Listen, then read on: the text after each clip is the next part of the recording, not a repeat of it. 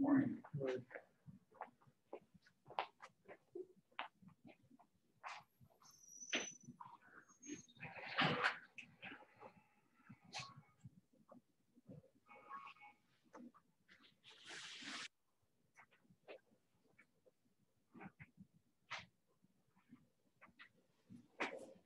All right, so um, we'll finish up the book by covering chapter nine uh, this week, and then we'll review on Monday for our last exam, a week from Wednesday on the last day of class.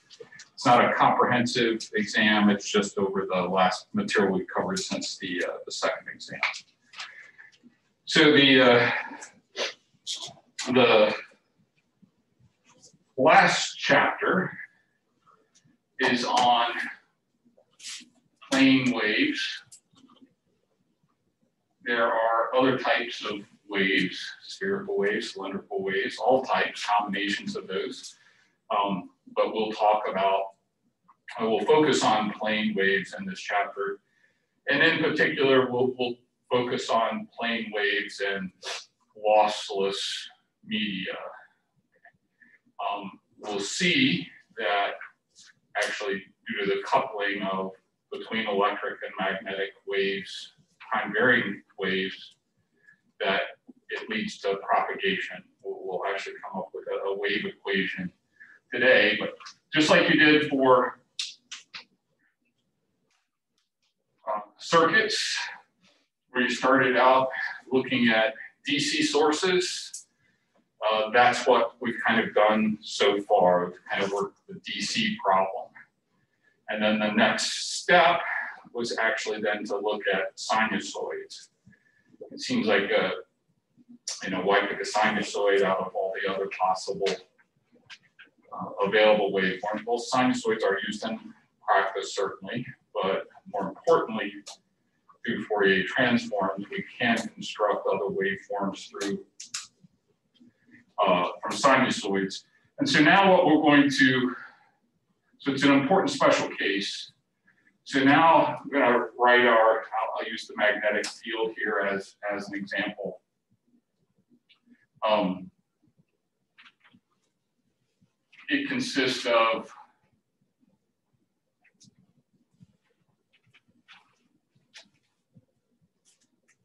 for, for each of the vector components, right, right, this is A for amplitude.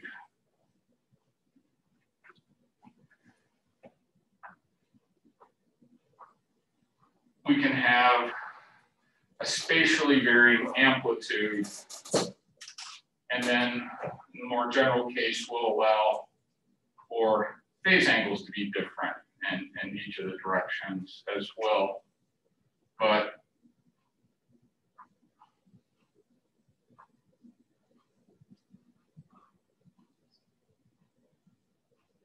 sinusoidal variation uh, in time. Okay, so kind of emphasizing the, the, the, time dependency here. We can simplify our notation by using phasors. That's not the only reason we, we use phasors. More importantly, is working in the phasor domain uh, simplifies our work with differential equations, but here in the phasor representation, e to the j theta x, and I'm dropping the position dependence here just for to simplify the notation, plus y hat ay e to the j theta y plus az z hat az e to the j theta z and then all e to the j omega t. So in these AXs, AYs, AZs um, uh, represent our amplitudes. The, the phase angle component here is, is uh, represented by our thetas. When we multiply the exponentials, we get e to the j omega t plus theta z, for example, the real part of that from this is RE for the real part of that expression. the real part of e to the j omega t plus theta z would be the cosine of that. So, and then one other notational simplification. I'm going to call the term in square brackets B with a capital B with a tilde over it. And I, uh, in the textbook, he has this as a boldface B to indicate that it's a, a, vector, which I've been using a bar over the letter to indicate that it's a vector. Um, um, but I'm not going to write the bar and the tilde both. So the tilde indicates that it's actually a phasor. Okay, so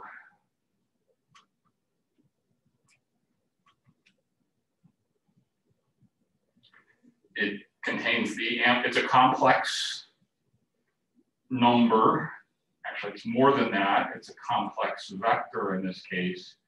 It has the x, y, and z components, and when we express it in Cartesian coordinates, but it's also a complex number in each of those. And it may depend and generally will depend on position as well. So it's a position dependent complex vector no time dependence, though. We've, we've, we've, again, due to the assumption that it's sinusoidal, we've, we've pulled out the time dependence.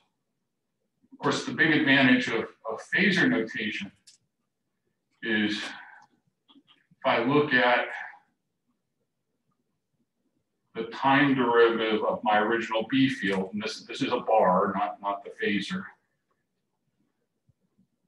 and go back and take the time derivative, I can write that using this notation, indicating that in the phasor domain, so the corresponding phasor, the, the phasor that corresponds to this time derivative then would be j omega times b tilde, the, the, the phasor um, of b. Okay, so time differentiation in the phasor domain becomes just multiplication by, by j omega. So I think last time we ended and I wrote down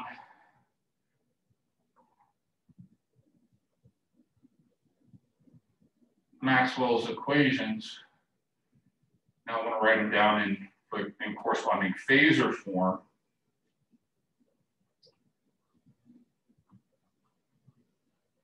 del dot D is rho V. All of these have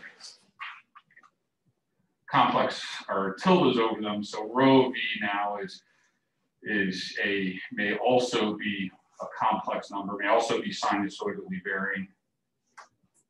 Del cross E is minus j omega B. That was a minus a partial derivative of B with respect to T and del dot b tilde is equal to zero, and del cross h tilde is j tilde plus j omega d tilde. So all the quantities in here are, are vector phasors except uh, rho v, where, where rho v is, is actually a, a regular phasor.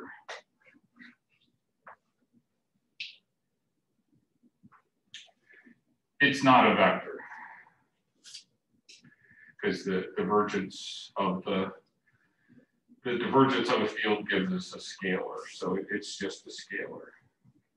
Now we still have the spatial derivatives. Okay, that's that's what the del operator does. Uh, takes uh, spatial derivatives to either the dot product or either the divergence or the curl, but we've gotten rid of the time derivatives here in, in uh, Maxwell's equations. We're going to start with even one more simplification.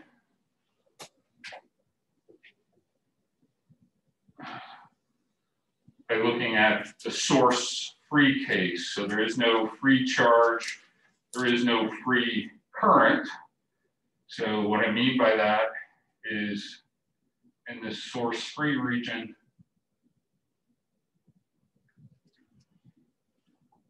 rho v is equal to zero and j is equal to zero. Okay. Now, there is one further implication that if we hope to find a non-zero E, we must also have sigma equal to zero here. A lossless case since J is equal to sigma E. So if J is going to be zero, if we work with a non-zero conductivity, then E would have to be zero. The exception would be if the conductivity is also zero, then E could uh, E could be non-zero and we still have a zero J. So that you might think that, well, if I have no sources, I'm not going to have, uh, I'm not going to have any fields. There is a source somewhere. It's just we're working with the point form of Maxwell's equations. So just like uh, surrounding a sphere of charge, there was an E field, um, but there was no charge around the sphere. There was still an E field. And similarly for magnetic field, we had a magnetic field around a wire that contained a current density. Now the equations for this, the D field within the sphere or the magnetic field within the chart, uh, current carrying conductor were different because of the presence of sources. But we still had fields away from the sources. So um, we're asking now what happens uh, when the fields are, are sinusoidally varying. We'll do one more notational simplification with D equal to epsilon E. And this is certainly the case that we've looked at all semester, where we've assumed our material is isotropic and homogeneous, the same throughout. Doesn't depend on the direction you're looking, certainly in complex and a more elaborate concept, comprehensive treatment of electromagnetics, like you might encounter in graduate school. Epsilon here may actually be um, you know, a, a matrix to represent this uh, representation. Could have, or more properly, I guess, a, tensor, um, so that we could have actually um, different dependence uh, depending on the direction that, that we're looking. But for our cases, at least in our introductory study of electromagnetics, epsilon's the same throughout the material and doesn't have directionality. And the same is true for for mu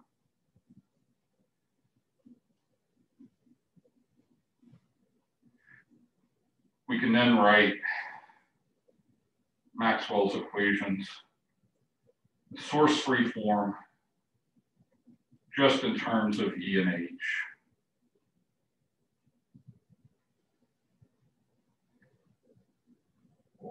minus J omega mu H and del cross H is plus J omega epsilon E.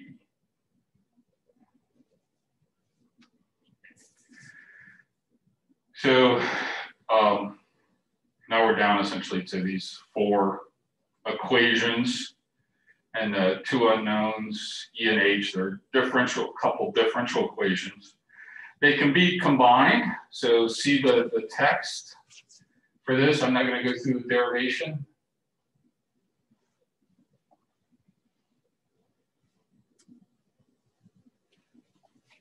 It's not difficult, but it takes a little more time than I want to give it.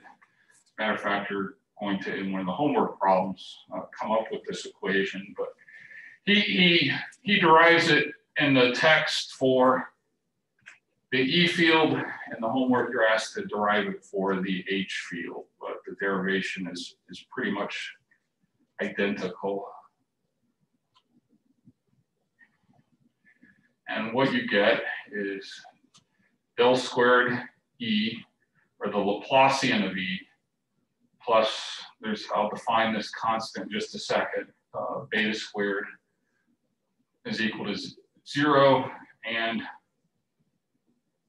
del squared h plus beta squared h is equal to zero.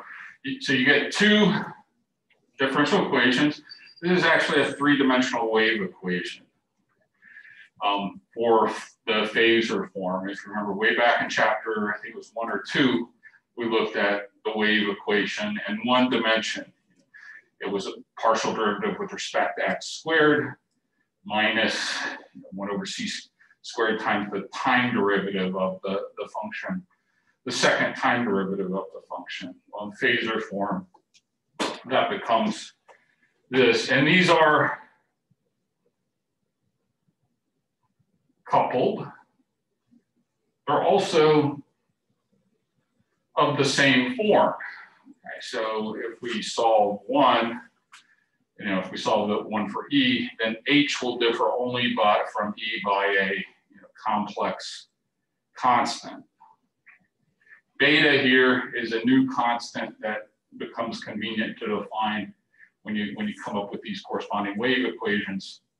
It's kind of nice. It it it, uh, it just includes all three of the other constants that are in the equation. The omega, the, the frequency of variation, and then the permeability and permittivity are, so instead of having all three of those in the, in the equation, we can conveniently combine, combine them into one constant.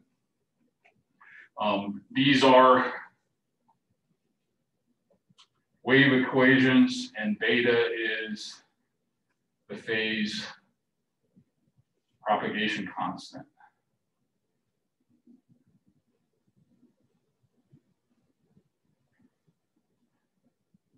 Same, we use that same notation back in chapter one when we first talked about uh, solutions to the wave equation in a, a single dimension. Um,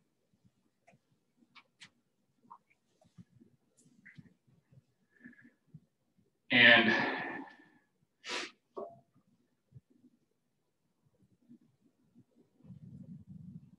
in the next series of the book, so there's a second volume to this book that's that's also free, which would be used in a, a second semester course.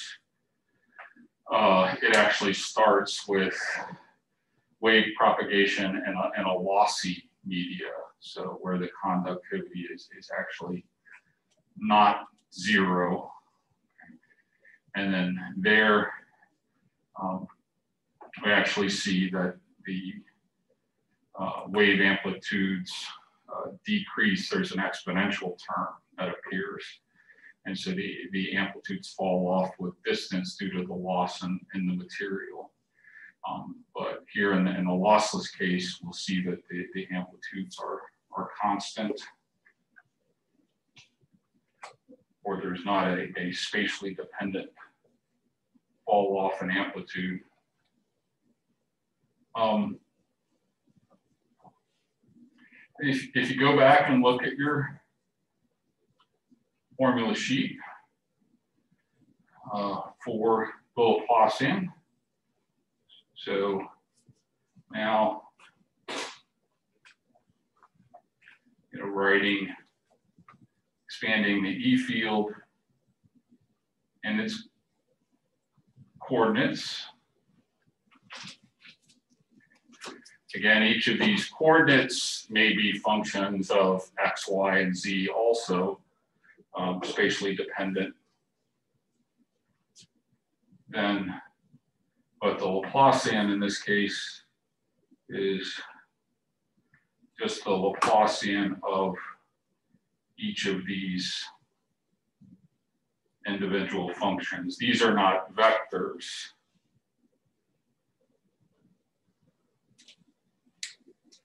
del squared E y plus z hat del squared E z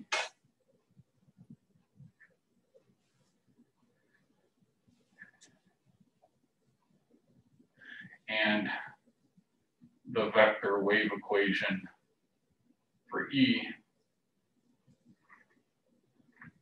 becomes del squared EX plus beta squared EX is equal to zero. We actually get three wave equations.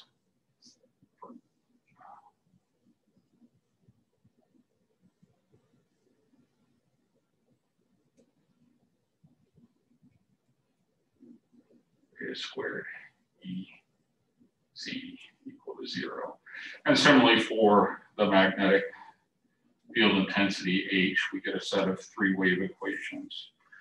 Okay, we're not going to look at the solutions of these today. We'll, we'll talk about them uh, next time, but I, I do want to briefly talk about the different types of waves that we can encounter, and then uh, specifically mention the type that we'll focus upon. Um, so we identify different types of waves depending on the shape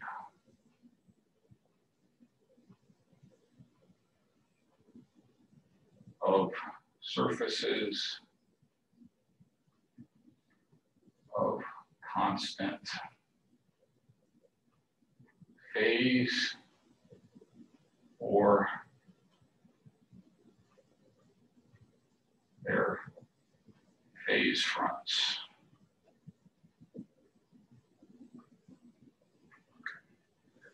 Sometimes called wave fronts. So you're, you're familiar with this, you know, if you if you throw a, a rock into a pond, you'll see the, the wave crest and propagate out from that rock in circles, right? And you can actually see the, the peaks and valleys. Well, if you connect all the peak at peaked uh, at one particular radius from where the, the rock entered, you know, it's a circle and then you'll you'll see those actually circles actually moving out, and you'll see a, a, succession of circles until they all die away. Well, those are those are phase fronts. You know, the points that connect all the all the points of constant phase. You typically, you know, it's easiest to visualize the, the peaks and the troughs, but it could actually be uh, any constant phase. And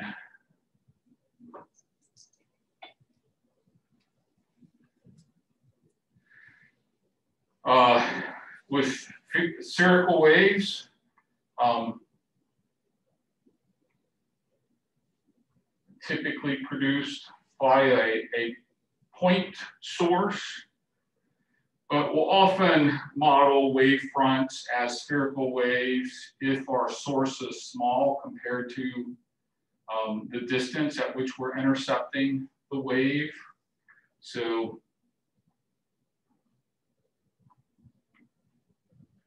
Around our around our source here, again, we've got, we're talking about the source-free region.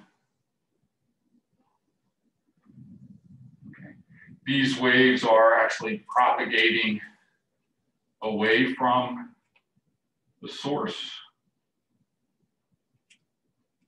So the arrows here are representing the direction of propagation of the wave. And we'll talk more about that, but this, this would be an example of a spherical wave. And these are solutions to uh, the wave equation in spherical coordinates.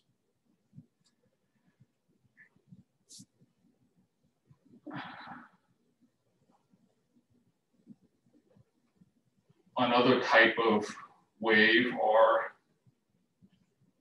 cylindrical waves that may arise from a, a line source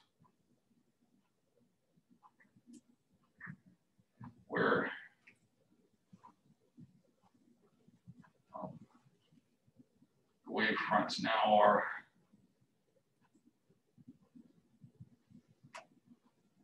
cylinders. Again, you'd have a series of concentric, concentric cylinders.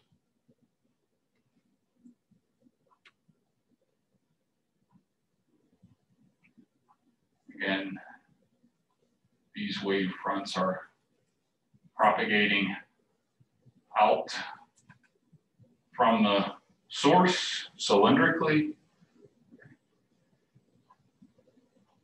where the, and the spherical waves are more like soap bubbles. And then the last type of wave that we'll focus on in this chapter are plane waves, and they can arise from either a planar source or actually a parabolic antenna.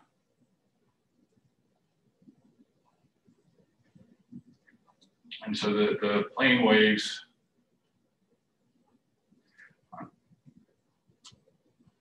actually just showing a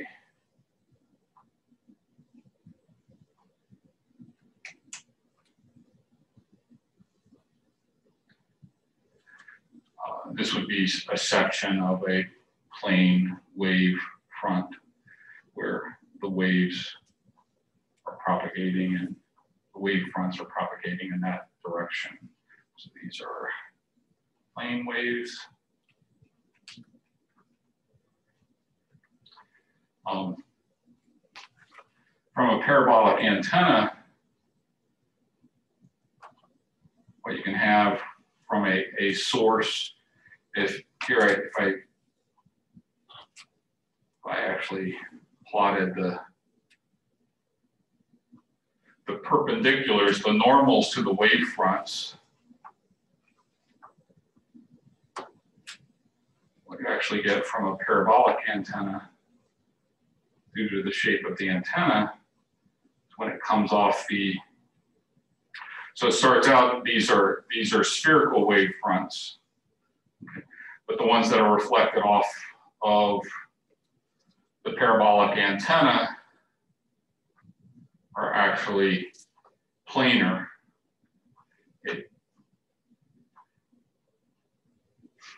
So we can get you know, planar waves, constant wave fronts um, in front of a parabolic antenna. Um, more importantly,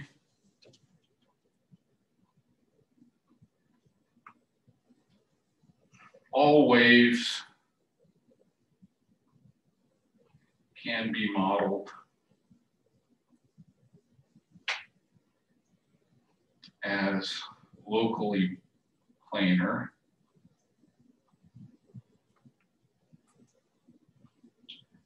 when you're far enough from the source.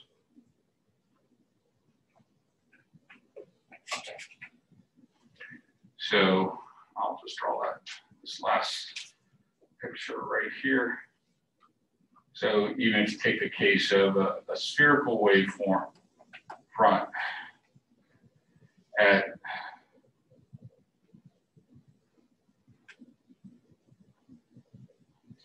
if you're uh, from the point of maybe a receive antenna that's being generated by a transmitting antenna that's creating spherical waves that receive antenna is only going to intercept a small part, a small part of that wave front. And so over this sphere,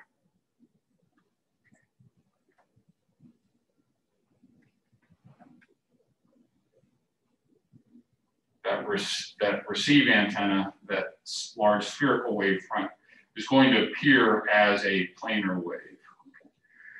And um, that's very much like, you know, um, it, it appears that the floor is flat. Well, the floor is hopefully flat, but you know that the uh, the Earth is flat because we're on the surface of a very large sphere, and we are on the surface of a very large sphere. Um, but locally, you know, uh, sections of, of the Earth appear to be flat because we can just intercept or see such a small portion of this much larger sphere. And same is true for you know, receive antennas. So to a good approximate, to a very good approximation, we can model the locally received wavefront, whether it's spherical or cylindrical as, as a planar wave. And so that's why the study of planar waves is, is very important. Um, it's actually the, the conclusion of this section. I didn't want to start the next section because I couldn't get through it. So I'm going to let you go a little early today and we'll pick up with discussion of planar waves on Wednesday. Okay. We'll finish up this chapter actually on, on Friday.